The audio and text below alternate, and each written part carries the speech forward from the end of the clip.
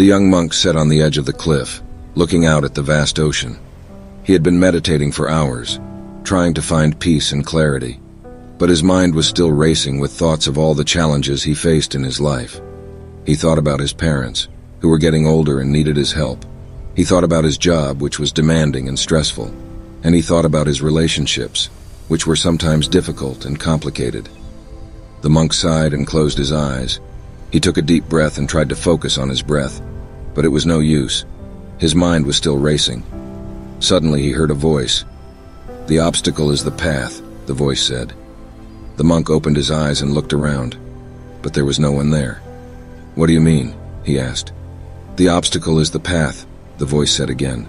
The challenges you face in life are not meant to stop you. They are meant to help you grow and learn. The monk thought about this for a moment. He realized that the voice was right. The challenges he faced were not meant to defeat him. They were meant to make him stronger. He took a deep breath and stood up. He looked out at the ocean again, and this time he smiled. Thank you, he said.